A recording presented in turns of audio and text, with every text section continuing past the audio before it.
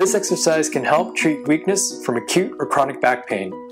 On your hands and knees, in four point position, engage your inner core by pulling the transverse abdominal muscles below the belly button inwards towards your spine while keeping your low back flat.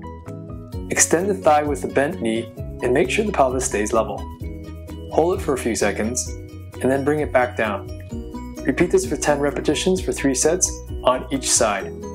Your ability to engage your inner core muscles and isolate hip extension without extending and arching the lower back is the key to doing this exercise successfully.